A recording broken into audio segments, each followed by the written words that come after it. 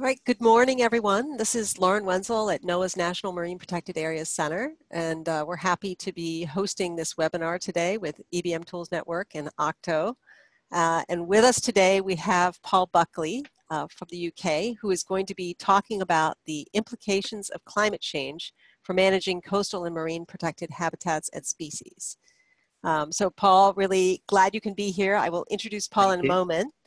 Um, but before I do, I'm just going to remind you all that uh, this is an hour-long webinar. We will have the presentation and then we will have plenty of time for questions and comments. So please do use the chat or the Q&A uh, templates to provide your questions so that we can make sure to have a conversation about all of these ideas as after we go through the presentation. Uh, so Paul works at the Science to Policy Interface, communicating the impacts of climate change to end users. He is the program manager of the Marine Climate Change Impacts Partnership in the UK and helps draw together impacts evidence from across the scientific community and translates it for non-specialist audiences. He also works with industry and conservation agencies to support adaptation and has led work as part of EU projects on wider ocean literacy and marine climate change and public perception. So welcome, Paul, and I will turn it over to you. Lovely. Well, thank you for that introduction, and thanks everybody for attending um, attending this webinar. Um, I know it's quite early-ish in the morning over in the States at the moment, but it, it made for a fairly reasonable time over here. So the talk today is probably going to take about um, 20 minutes or, or so, I would have thought. So I think we'll be easily wrapped up within the hour that we've got. So by way of introduction, then, you know, it's certainly well established that changes in sea temperature, storms and waves, salinity, stratification, acidification, um, change in oxygen levels, and changes to runoff, um, leading to differences in inputs of nutrients and pollutants from the land, are having significant impacts on coastal and marine habitats and species. Certainly, this is becoming increasingly well documented by the IPCC and also at the regional and local scale. So, with these changes going on, it might certainly be expected that these could have implications for the effectiveness of the legislation that we have to protect marine biodiversity. So, bearing this in mind, um, in the UK a few years back, we were tasked through the Marine Climate Change Impacts Partnership to look at this in a little bit more detail um, more specifically, we tried to review relevant international and national obligations and consider how they might already be or might be able to in the future take account of climate change impacts.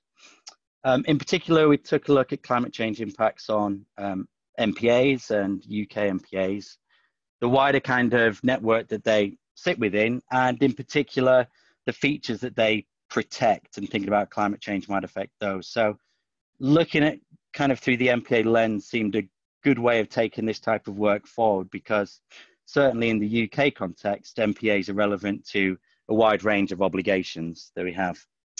Um, more recently, we've taken some of this work forward and looked at some selected features, that's both species and habitats, um, looking in more detail about climate change impacts and thinking about management responses that might be required. So whilst the focus of this work and the discussion is really around the UK context, then the principles certainly have wider applicability.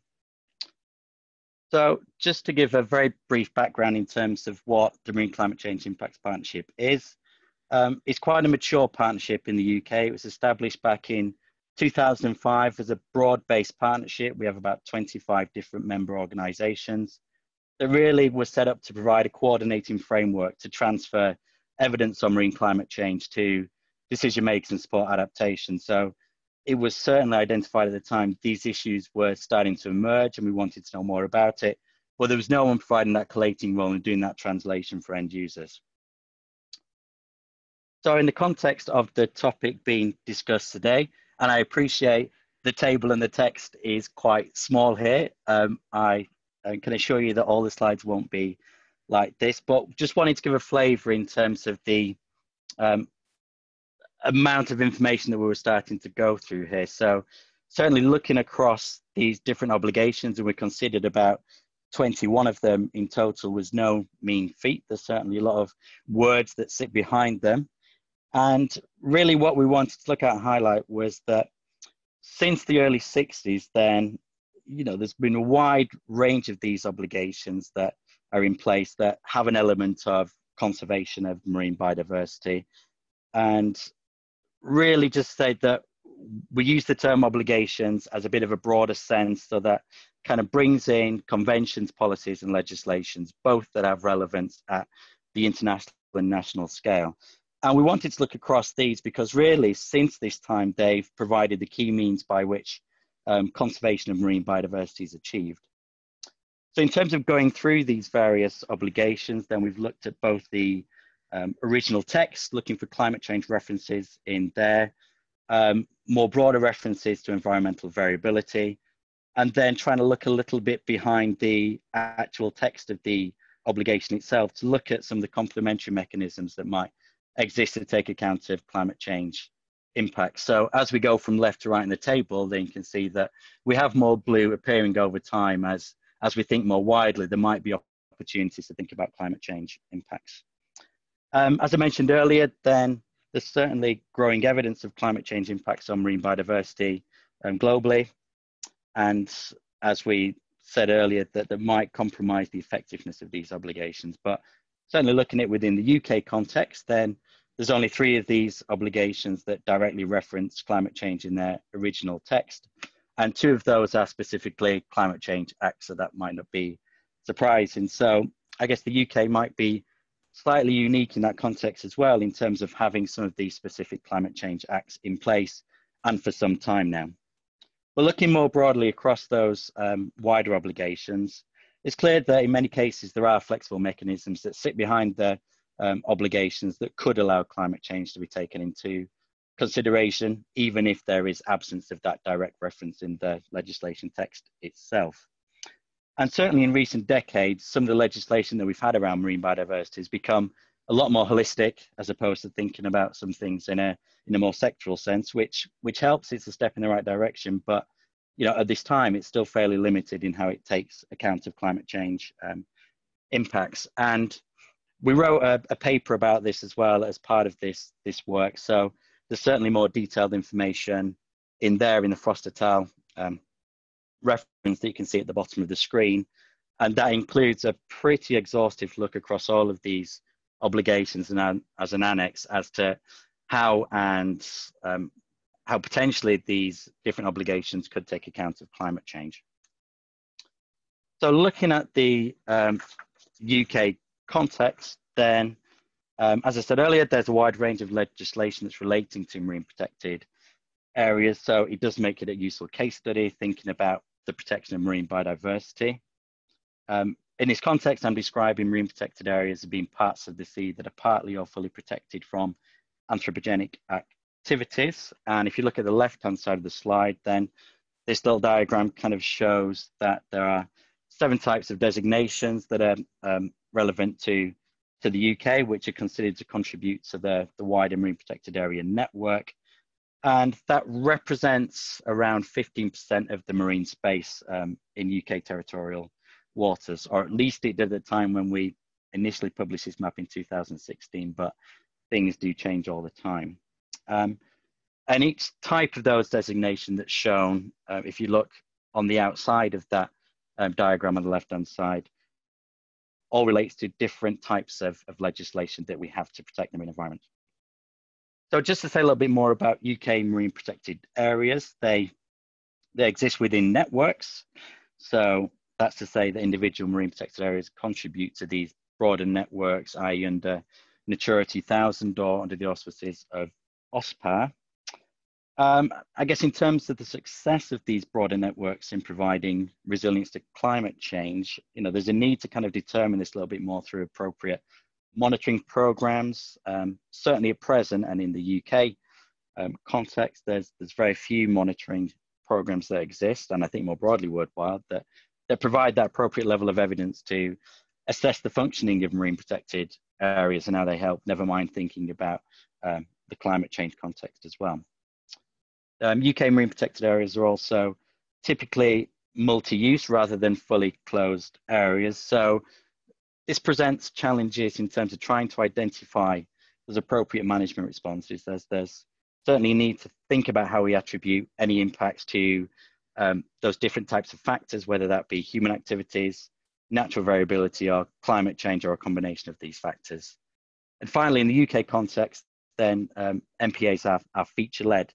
That's to say that they are in place to um, protect specific um, identified species and different habitats. So in total, uh, at least back in 2016, there were 1,253 um, separate designations that covered 105 different species. These are mostly birds in the UK and 74 different habitats. So all of these different features need to be assessed individually, thinking about the site level as well, against um, conservation targets, particularly these features within marine protected areas that are of interest when we're considering the impacts of climate change.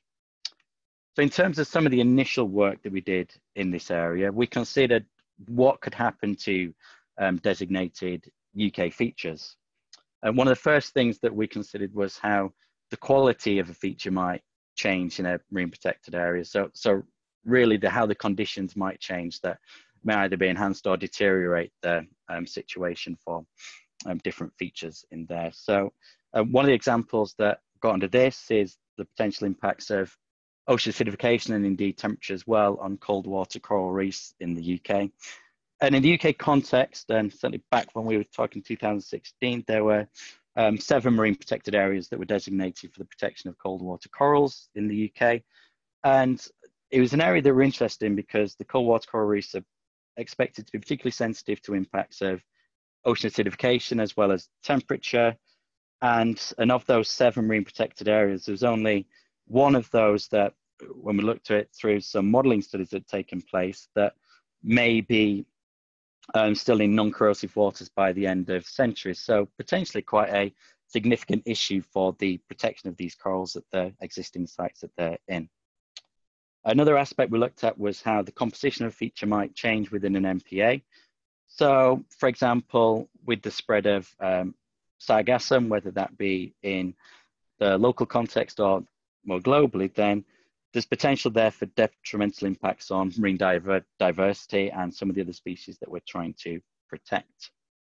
Thinking about whether features are lost or gained to a site, then um, an example in the UK is looking around kelp beds. We have some um, southern species that have, you know, kind of involved different ecological processes and are more or less kind of resilient to things like storm damage. So as the makeup of beds perhaps changes over time as, as climate change um, takes hold from um, some of those more southerly species moving in at the expense of some of the northerly ones, and this could alter the makeup of kelp beds and some of the ecology that surrounded it.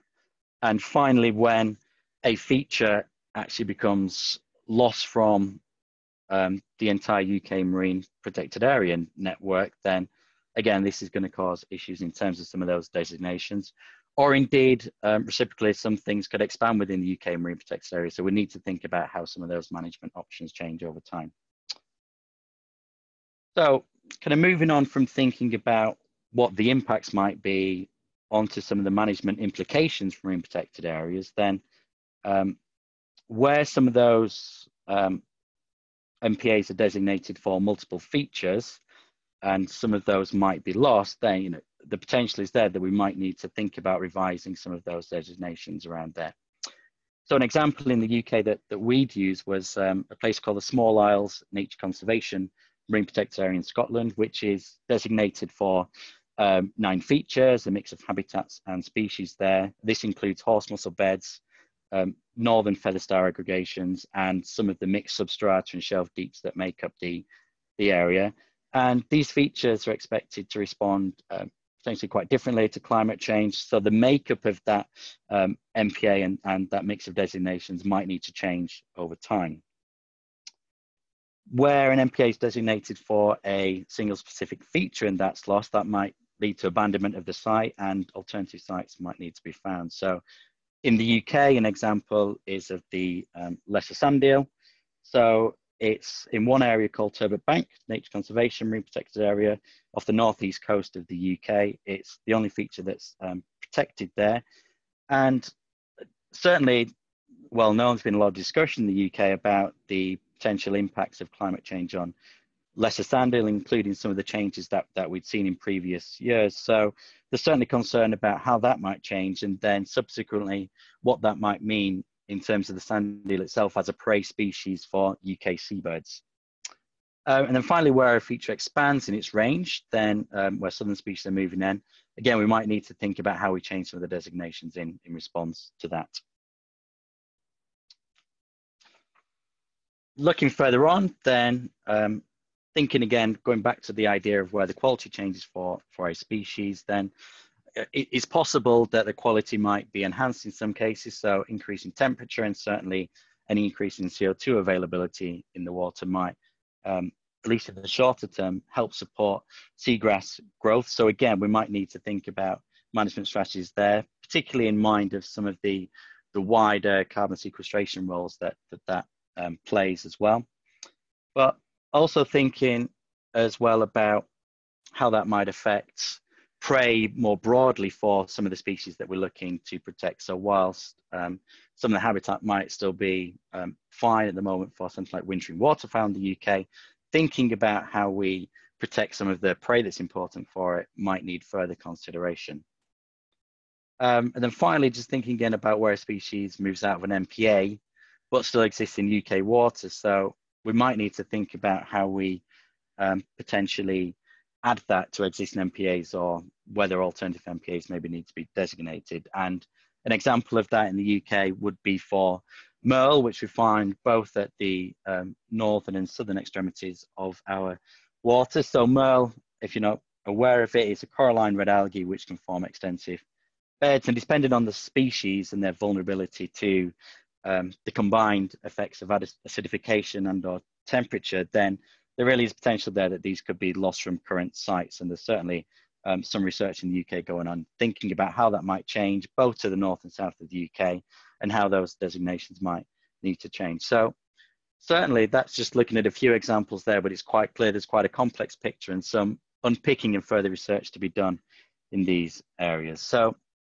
kind of just summing up some of that initial work that we've done in that area around the legislation side, the MPA's features in the context of climate change, then you know, certainly when we were looking through it, it was apparent to us that the climate change, it was fairly rare where it's being explicitly considered in marine biodiversity obligations and legislations, but there were mechanisms that potentially existed that could enable um, climate change issues to be addressed, whether that be some of the um, you know, review cycles that might be in place on timescales of say five years or, or less like that, or some of the secondary mechanisms that's put in place to um, implement some of the legislation, whether that be some of the international obligations um, being enacted at the national level, or some of the national level legislation itself, where some of these things could be um, considered in more detail. Looking at the issue around MPAs and features, then some of the key features that um, elements there were really this idea of some of those features being gained or lost in response to climate change impacts from sites, and in certain cases about how that might affect their um, appearance or otherwise in the entire UK network. So thinking about moving forward then, you know, whether this potential need for more flexibility in terms of how I respond to these impacts was, was something that was certainly top of mind. So thinking whether, you know, there's options such as designating new sites, abandoning old sites, revising management measures may all need to be considered a little bit more regularly and um, a little bit more specifically as well in the context of a changing climate. But it's quite clear that this needs to be guided by robust evidence-based science, so we're making some of the right decisions at this stage. And, you know, I think there's probably a need for, you know, certainly more targeted research, specifically thinking about supporting management of protected features, MPAs and their networks. It's, it's clearly an early stage, or certainly is within the UK.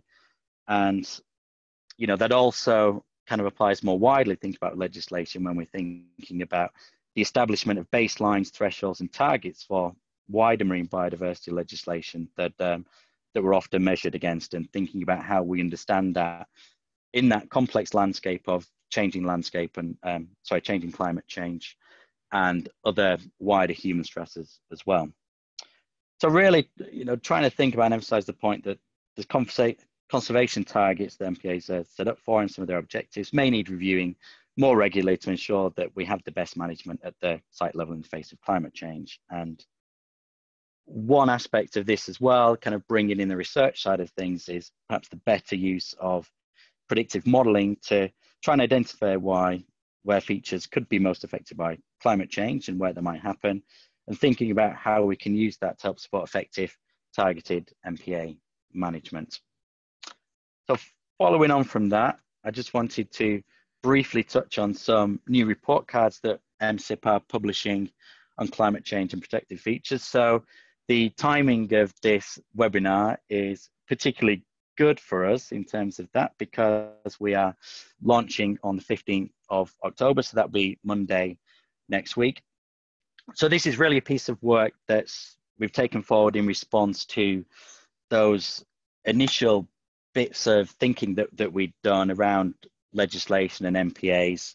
And we were asked to investigate um, a bit more closely some selected climate sensitive features in a bit more detail so we can help to develop some guidance for conservation managers as a kind of a first step in terms of how we might tackle some of these issues. And then, so in wider consultation with our, our partners and the wider UK conservation community, we identified seven um, key climate sensitive features. Um, again, a mixture of habitats and species that we wanted to take forward that were of interest um, both at the UK government and the wider UK devolved picture as well. So talking about Scotland, Wales, Northern Ireland within that context too, and where we knew that these features were particularly sensitive to the impacts of climate change and some research had already been done to, to demonstrate what those impacts might be. So in terms of those new report cards that we've set up, there, there'll be seven cards in total, one for each of those features that I've um, just mentioned there. So they're, the documents themselves, they're intended to be high level, highly accessible to um, marine managers and particular people that work in UK conservation agencies, but hopefully they'll be able to work and provide some guidance for other people that might be looking to take similar types of approaches as well. So in terms of what those short documents include, they're highly visual, eight page online documents that we have. And you know, they kind of set the scene by looking at the feature itself, describing what it is and how that maps around the, the UK space, uh, certainly at the time of writing, going into some of the evidence for climate change impacts that, that we have for those particular features and also highlighting some research needs that we might still have. Looking at that role of climate change versus natural variability and other human human stressors. Um, and then starting to think as well where we could, bringing out some of the regional site-specific examples of change and some of the management measures that are already being taken.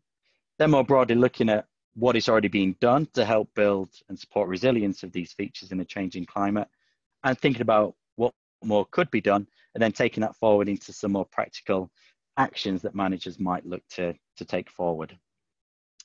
So just a few key points from the cards that are, are going to be coming out. I don't want to focus too much on them here because I'm hoping that everyone will go away and have a look at these cards when they're published on, on Monday. Then um, certainly the cards work to emphasize how well established it is that you know climate change is affecting marine species and habitats um, and the fact that at the moment there continues to be you know little focus on management options certainly in the context of um, climate change and what what that might mean so in terms of the features that we focused on then as I said there's seven cards in total they're covering um, saline lagoons salt marsh maerl coral gardens um, sand eels particularly in the context of their availability as prey for um, higher species, including seabirds, horse mussels, and seagrasses as well. And part of the reason why we selected these particular habitats and species is that they they represent some of the the most important protected features that we that we have and amongst some of the ecosystem services that they they provide they have a wide ranging role in terms of supporting diverse plant and animal communities they um, they act as nursery grounds for fish and shellfish, including important commercial species. They play a critical role in the global carbon cycle, and particularly in terms of that role looking at blue carbon and um, sequestering and storing carbon, and they provide food for high trophic levels as well. And I think certainly as a general point, the cards were emphasizing the need for holistic approaches that were reducing other man-made pressures, giving due consideration to climate change that we understand, particularly during marine planning exercises, and that is able to build in that element of flexibility that can respond to some of the changes that are taking place. And finally, thinking forward to some of the broader actions that were highlighted without going into detail on each of the seven cards themselves, then certainly again emphasizing this this role that's already been played through efforts to reduce other pressures and some progress has certainly been made in that um, area in the UK on vulnerable habitats and species is certainly important. So thinking about things like the recreational pressures that we've got on salt marshes and how that might be reduced and thinking about things like fishing pressures on sand eels and wider impacts on things like coral gardens and horse mussels as well. Um, more specifically, thinking about things like sand eel stocks and how we might need to set aside some component of that to avoid some of the adverse effects on dependent predators, given their important role that they have in terms of food source for things like puffins, um, guillemots, razorbills, and shags.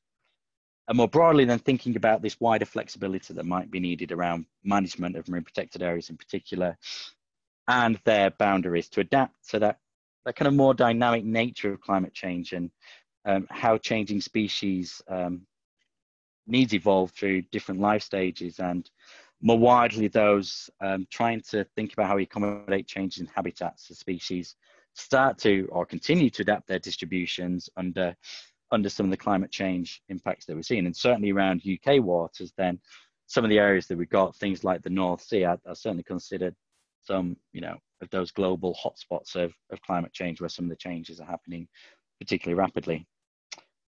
I think more widely, there's some of the points thinking about how um, some of the habitats covered by the cards, such as salt marsh in particular and seagrasses, are acting as kind of corridors for wildlife as well between coastal and marine environments and realms. So thinking about how they need to continue to link up and having an improved understanding of these connections um, is needed really to ensure they're not threatened by climate change effects such as um, sea level rise.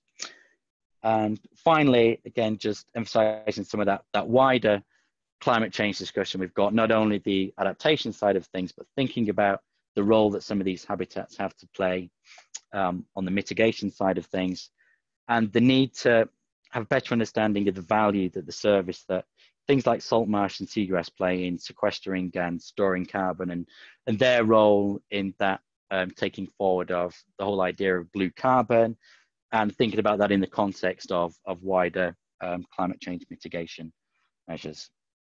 So I'm going to finish on that point and I'll say thank you. And for more details, then go to our, our website at www.mccip.org.uk.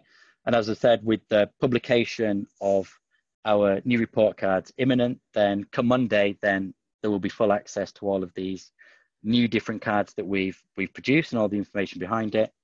Or if people want to contact me directly, then we have a, a general um, office email address, which is office at mccip.org.uk. So thank you.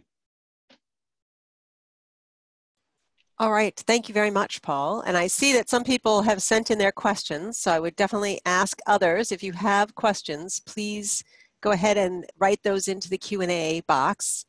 And we'll start the, uh, with the first one from Brandon Gartelman, who asks, do you think legislation can adapt as quickly as needed with regard to climate change and emerging science, or will legislation always fall behind the current need?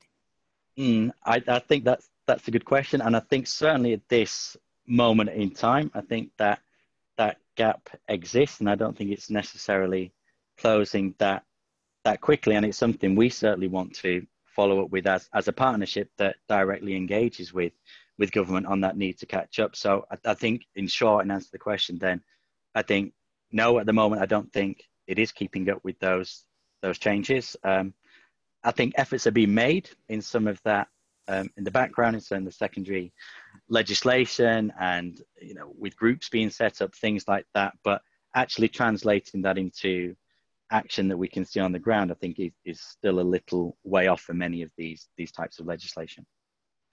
And this is a follow-up question for me. It, yep. it, um, it appears that a lot of your legislation is focused, as you said, around features, yep. um, which are changing, as you point mm-hmm. out. And I'm just yep. wondering if there has been increased interest in, in having a broader ecosystem focus on ecosystems and ecosystem services that might be more inclusive and, and mm-hmm. more flexible. Yeah, I mean, I think I think there will need to be certainly response. I mean, I don't know how how things are, particularly over in in the states and elsewhere in the world, but the but the whole notion of ecosystem service is you know, whilst it's been relatively new, or the way that it's been branded like that in the UK, it's it's certainly become um, top of mind. So so yes, I think there does need to be a wider consideration of those wider ecosystem effects because you know things will inevitably move around, but they might just need to accommodate different types of um, species as change happens in the end. I guess to an extent, whilst we can try and adapt and protect some of the things that we want to protect, there's only going to be so much that, that we can do. We need to, to think more holistically like that. And uh, here's a question from Peter Miller who asks, can you say something about protecting oceanographic features such as ocean fronts that are foraging habitats for mobile marine animals like okay. seabirds, cetaceans, and sharks and how those might change with climate change? Yep, um, it's not something that we've looked at in um, a particular amount of detail, certainly in relation to these pieces of work, but I know through some of the broader work that, that we do on MCCIP and, and we look at um, particular issues around um, physical drivers of change, kind of oceanographic conditions and ocean circulation, then there's been quite a lot of things highlighted around um, fronts around the UK and its potential impacts on marine species. So there's not much more I can personally say about that, but I know that research has taken place in that area. Um, how much thinking has then been done taking that forward into thinking about um, designated um, features and species like that? I'm, I'm not quite showing that, that context, but I think it's an area of work where more thinking needs to be done in that, that area. That's probably not a straightforward issue, thinking about how some of those fronts might respond at a, at a finer scale to, to some of the changes that we're seeing in climate. All right, here's a question from Tom Hourigan here at NOAA who says uh, he understands there's going to be a card for coral gardens. Does this include yes. cold stony, cold water stony coral reefs and cold water octocoral gardens? Um, I'm not sure whether they've been explicitly referenced in that way. So it's particularly thinking about yeah coral gardens in as we have them in the context of um, the UK waters that we're interested in where they're designated off the um, north, kind of northwest Scotland coast. So I can't remember offhand whether they're included in there. Certainly using that type of terminology. I think some of the terminology is slightly different in terms of how we apply it in terms of the UK context. But hopefully there'll be there'll be something in there that's that's instructive in that sense. Okay.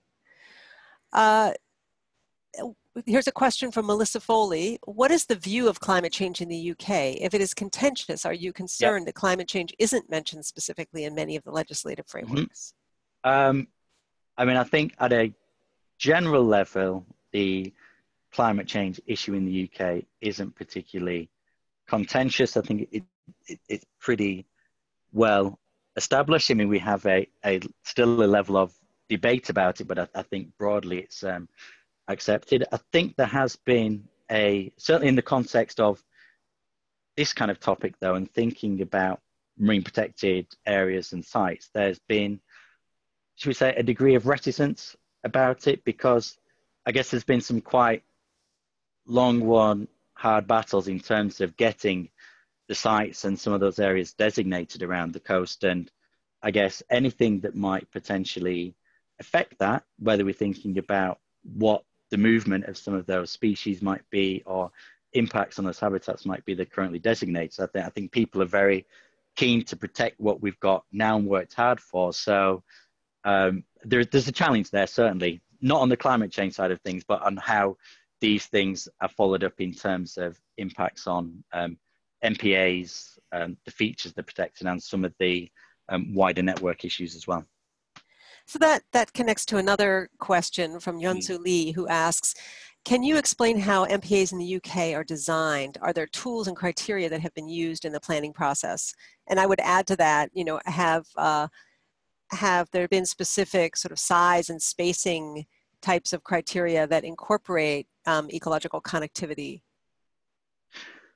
Um, I would say broadly yes and no to those answers. So in terms of kind of the UK, uh, in terms of you know creating the um, marine protected sites, marine conservation zones that we've had there, yes, there is there is quite a a long um, process. Not something that I'm personally involved in, or um, so people that I, I directly work with. But yeah, there's a there's a long process in terms of how those are designated in terms of identifying the sites and the the size and the location of those, which subsequently goes out to um, public consultation before the debate ensues, and we finally get the um, MPA sites networks that we ultimately get and are, are left to deal with. Um, in theory, then they're supposed to be designed with that element of connectivity in mind. Um, how well we understand how that works in practice is, I think, a bit more open to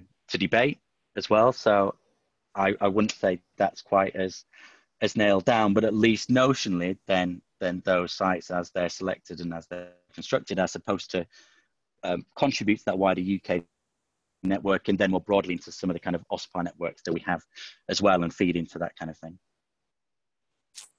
All right, thanks.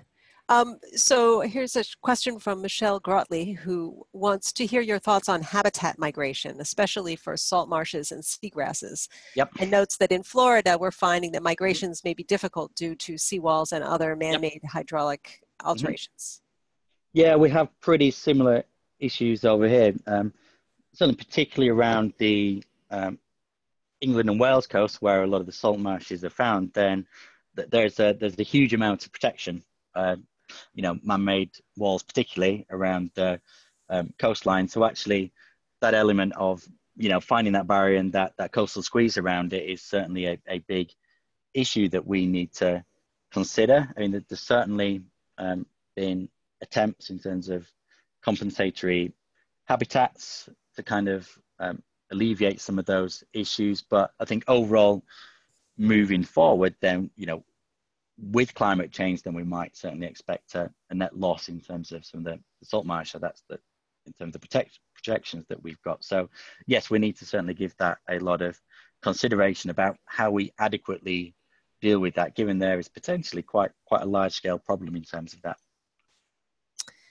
And another question related to seagrass from Denise Devota, who yep. asks, um, with seagrass expansion and the fact that it serves as a wildlife corridor between marine yep. and freshwater systems, are you seeing increased invasions of exotic species from marine to freshwater systems using seagrass as a corridor for movement? Um, I don't know specifically in terms of the, the research. It's not something that was particularly mentioned, I don't think, in terms of the cards that we're bringing out at the moment, albeit that link with the corridors was was mentioned in terms of it being important. So it's quite possible, but I'm not aware of that offhand or certainly of examples of that in the UK UK context. But it would be interesting to to know whether that was that was happening. And lots of interest in seagrass. Another seagrass question yeah. from Kristen Schmidt, who's wondering if you have any examples of what adaptive management for um, seagrass might look like in light of climate impacts. Um, yes, that is a that is a good question. I probably should have read through the card before I did this this presentation, but we don't mean to put you on the spot. No, no, that's fine. But I mean, a lot of the measures, both for seagrass and more widely, were really about kind of um, building building resilience in terms of some of the the wider environmental impacts that that we have. So, you know, in particular, thinking about some of the issues around um, pollutants in the nearshore environment and some of the other human activities that were going on. So I think in particular there was a strong emphasis, um, and, I, and I think this related to the seagrass card as well in terms of the actions that are taking place or need to take place in terms of reducing some of those other pressures as well. So we have some science questions here. Um, okay from Michelle Grotley, who asks, you mentioned predictive modeling will be important moving forward and Yep. having high quality input is essential for effective models. So have you noticed any areas where you really need good data or don't have reliable metrics in terms of um, input for models? Yeah, I mean, I, I think some of those, certainly thinking about the UK context, some of that, some of that finer scale models that we need. So as we start to look down and think more towards the the site level, um, you know, I think there's still an issue around some of the the resolution that we that we've got within the the marine environment, um, and certainly within the context of some of our latest projections that are being produced in the UK. So we have something called um, UK CP18, which is going to be our latest UK-wide projections that are led by the Met Office over here.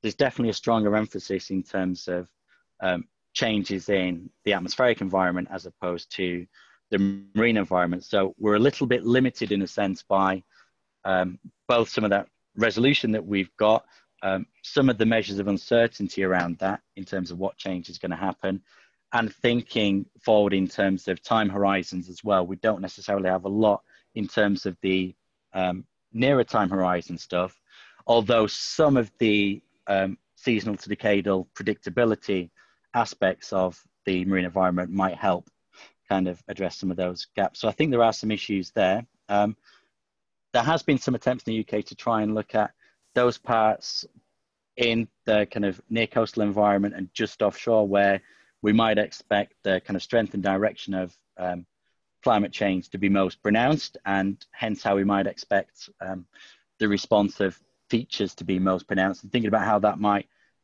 trickle down into where we might be able to more ably manage something where some of those effects might be might be less acute over time or thinking conversely about some of those areas where we're expecting real rapid rates of change and you know some more serious consideration about how we manage to um, protect features in those areas okay thanks uh, so here's a question about sort of setting priorities from Catherine yep. Pack, mm-hmm. who says, "Hi, Paul. Do you have a specific goal that you would like government to um, to take action to protect yep. MPA features from the effects of climate change. For example, have you suggested monitor, how have you suggested that monitoring be implemented and have you prioritized specific features over others? Um, yeah, um, yeah, not specifically. I think in terms of the kind of wider ethos of um, MCCIP, we kind of work as almost a kind of neutral clearinghouse, not there to kind of try and push a particular agenda, albeit we will, within the context of this kind of work, trying to think about what recommendations that we have. Um, monitoring is certainly a big issue, as, as it is globally, I guess, in the UK about where we target some of that that monitoring. And yes, within some of the cards themselves, where there is some recommendations about how and where some of that monitoring should be um, focused or at least where some of the existing time series need to be continued into the into the future. Um, I think naturally some some features get a little more attention anyway than others. I think people are certainly more familiar with things like um, salt marsh and seagrass than they might be of, of, some of the more slightly obscure things. And certainly in, in the UK, on the species side of things, there's a very strong emphasis on the protection of birds as opposed to other um, truly marine species as well. So I think, I think, I think there is a little bit of, yeah, what not necessarily directed by us, but some natural kind of prioritization that, that's falling out there that's driven by particular um, desires, I think, either either from government or a wider non-government perspective. Whether we would specifically recommend to government what they actually have to do, I think we'd have to leave it a little bit more open than that. Um, particularly, I guess, as, as, we think about our our role that that we have in terms of providing that more neutral message as a as a government organisation as part of a wider partnership as well. So comment from Roger Griffiths, who says he has praise for the MCCIP climate impact report cards. They are impressive products to help increase awareness and climate smart decision making. Is the plan to continue these? And if so, how often? And I would just add to that, I, I've heard some really great feedback from others and I agree, uh, the, the, report cards are extremely helpful, and I know others are looking at them as a model to, to also try to better translate the science into management and policy audiences. Yeah, no, that that's great to, to hear, and I'd, I'd to thank Roger for his um, kind words. I had the pleasure of meeting Roger on a number of occasions at the ECCWO workshops as well.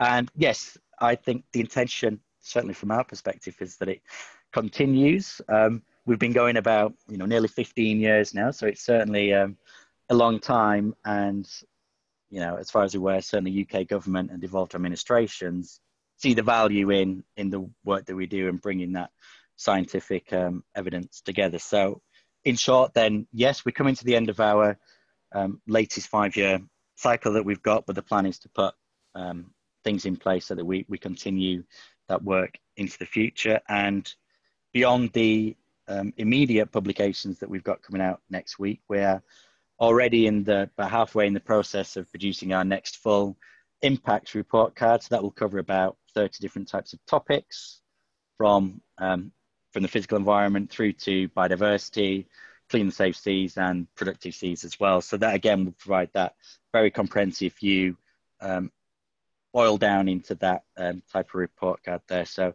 that probably kind of translated into a slightly shameless plug for these things that we've got we know. But but hopefully, yes, those those products continue to be important. And in other areas of work, we've we've certainly rolled out the model working in the Pacific region, the Caribbean region, and we're thinking more widely than that. So so yeah, I think there's still opportunities and traction to see those kind of things, including um, probably to work with NOAA as well in the future.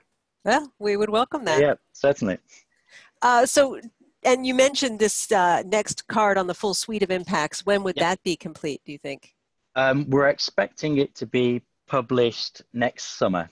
So I'll leave it suitably vague at next summer, but I, I would, um, I would think around July time, um, as long as we can get all our um, author submissions in and we can harass them sufficiently that they just want to get it off their desk. I think a key strategy. Indeed, indeed. Uh, so you also mentioned uh, overseas territories, and there's a question from Eric Salamanca who asked, mm-hmm. are the UK overseas territories included in the UK approach or strategy to fulfill UK obligations relevant to marine biodiversity in a changing climate? Um, we're not at the moment, certainly under the umbrella of MCCIP, there has been some previous work done through the um, UK Joint Nature Conservation Committee, where they've worked specifically in the UK overseas territories. Um, it was identified as a gap at the moment in terms of climate change impacts in a um, recent UK Parliamentary Select Committee. And I think there's certainly appetite to do more. There's probably appetite to do something from an MCCIP perspective in this area. So, yes, potentially watch this space. But in the meantime, we've been focusing on the um, Commonwealth small island developing states, given that the UK has this kind of plethora of different random types of um, Commonwealth nations, overseas territories, and it's it, it's quite a big complex mix that probably encompasses you know 70, 80 plus territories around the world. So, so we've made a start in some areas, but certainly more to be done in the context of the UK overseas territories in particular. Great, thanks. Uh, so another question from Catherine Alves who asks, uh, says, thank you for your hard work and for sharing it with us today. What is one of the biggest challenges you encounter when bringing together scientists and policymakers and how do you deal with it? Um, I think there's there's always a challenge, and I'm sure it's not just the UK that things come on and off the agenda at times. So I guess one of the things is keeping that interest up. Um, particularly in the UK at the moment, there's a very big focus on um, marine litter and certainly plastics and microplastics, which is great because it gives focus to those those kind of things. But I guess you you end up battling for some of that that space with um, increasingly busy um, politicians, I guess, at the moment, especially in the context of some of the changes that are going on in, in the UK. Um, but I think by and large, climate change does remain a priority in the UK. We continue to get that support, which is which is great. But ultimately as well there's also that kind of challenge about thinking about right we lay out the evidence base and it, it feeds into all the major uk reporting requirements and some of the broader things that we do at an international scale but actually been able to pinpoint how some of that work has um, influenced affected or changed policy is quite difficult to pin down really and actually quantify so i think that that's a major challenge that we have in terms of how do you prove and demonstrate that policy has responded in terms of what, what you are doing? Yes, I can. I can definitely see yeah. that. Mm. Um, mm. And and related to that, this this kind of takes that and puts it in the international context. There are a couple of questions about what do you think that the U.S. or other countries can learn from the U.K. And then also kind of how does MCCIP collaborate with other governments to work internationally to address mm. climate change impacts? Okay.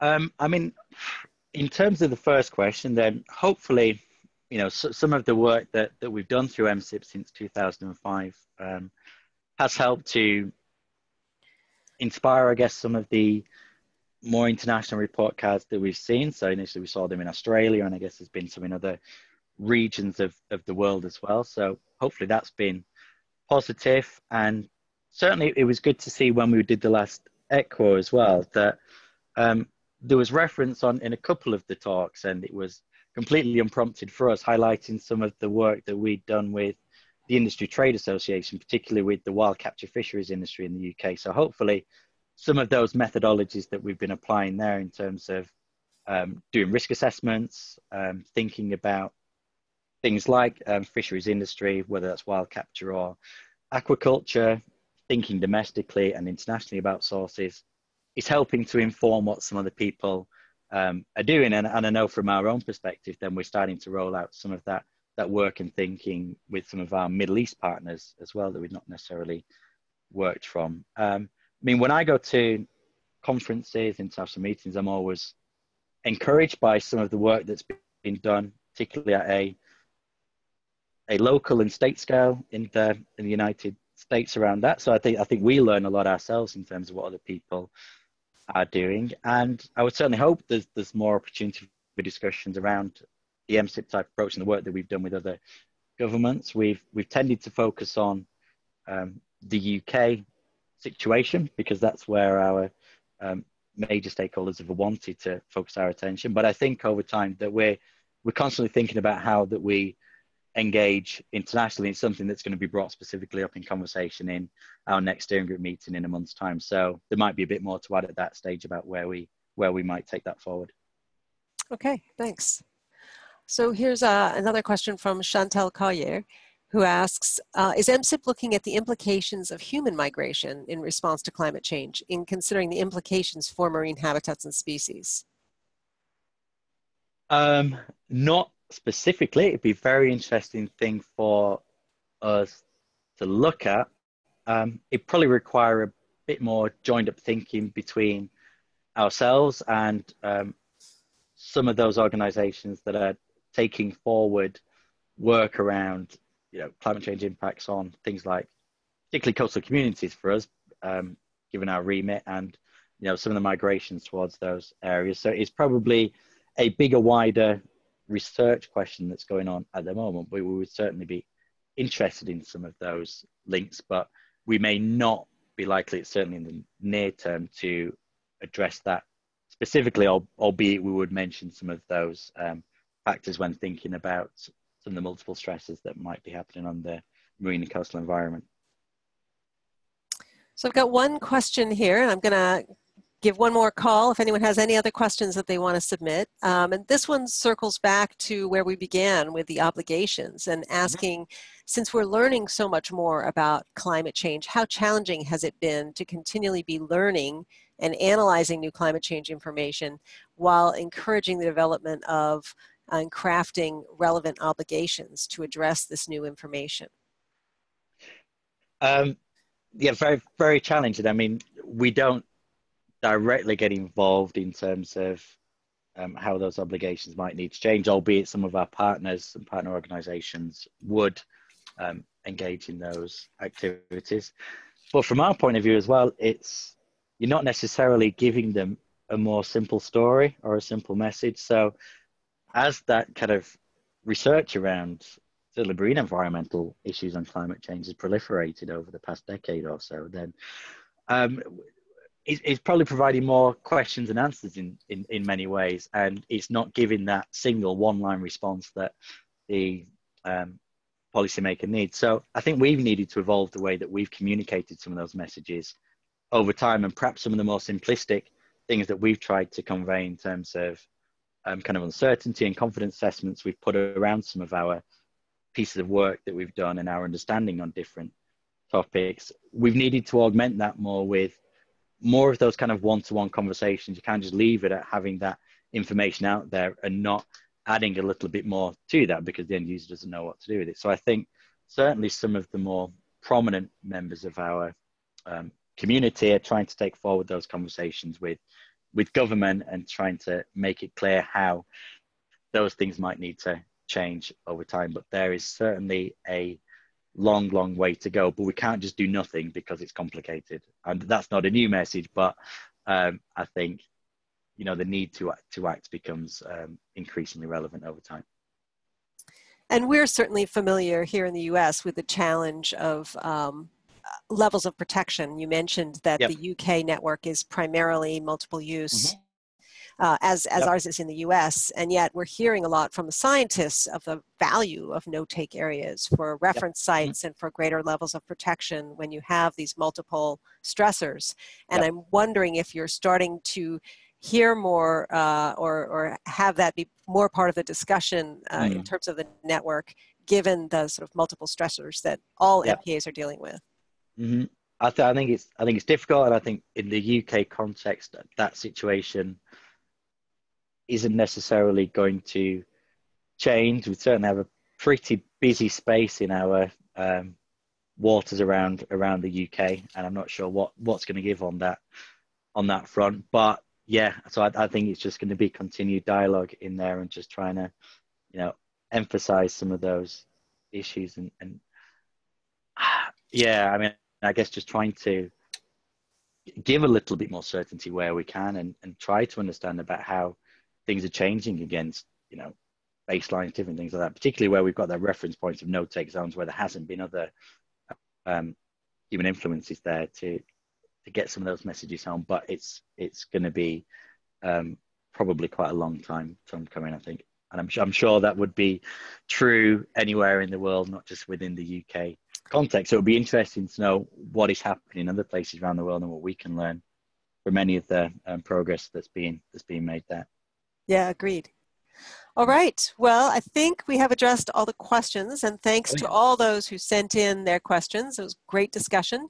And thanks so much, Paul, for joining us and sharing this information. And we're looking forward to the release of the report cards on Monday. So lovely. Thank you. Thank you, everybody. Yeah, I really appreciate the opportunity to um, to share this with you. All right. Thanks, everyone. Goodbye. Lovely. Thank you. Bye bye.